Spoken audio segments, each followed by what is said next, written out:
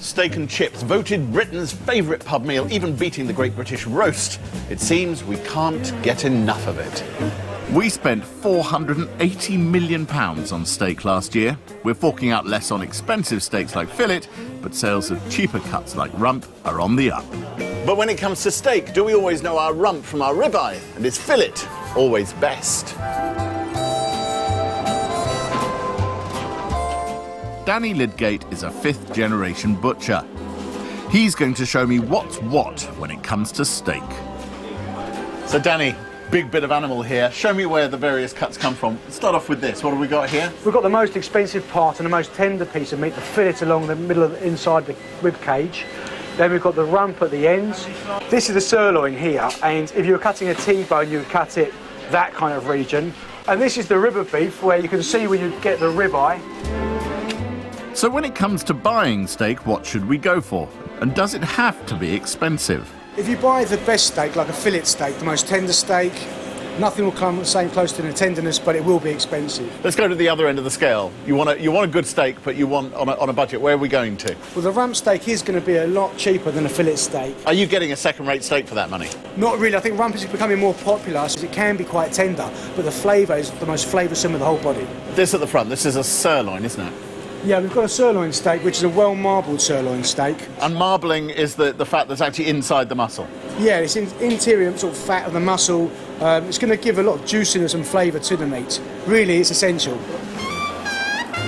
Right, we've seen how to buy steak, now we need to see how to cook it.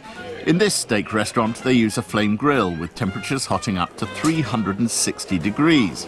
But the secret of cooking a good steak at home is to follow a few simple steps. First thing to do is to leave it out of the fridge for at least an hour before cooking, something many don't bother doing. People take it straight out of the fridge, um, stick it on the pan.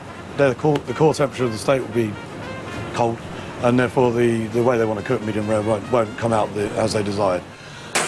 So, Ollie, do you fancy a steak off? Why not? Let's go. We're cooking rump, one of the cheaper cuts, but also one of the most delicious.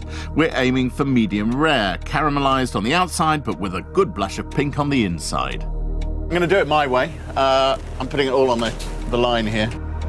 Chef's cooking his steak dry. He doesn't like the taste oil can leave, but I'm rubbing a smidgen onto mine to give it a better crust. And don't forget, plenty of seasoning and heat your pan until it's smoking hot. Can you ruin a good steak through bad cooking? Yeah, quite easily. Quite easily. As a very rough guide, the average medium rare rump needs around four minutes each side, though that changes depending on how you like to eat it and the thickness of the steak.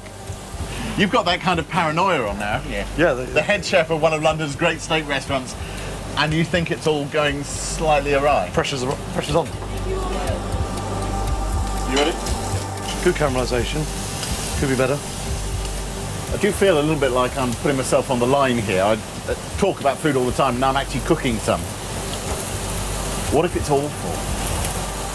The steaks are done. My last tip if greed doesn't take over, a steak needs to rest for 10 to 15 minutes on a warm plate.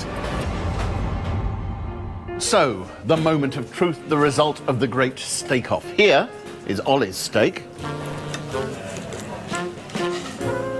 Well, I have to say, that for me is exactly how a steak should be. Nice and charred on the outside and gorgeous and pink in the middle. But what about mine?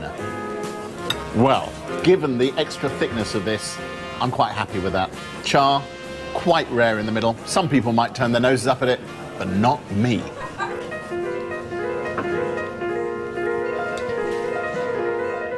It's pretty good. I love my own cooking.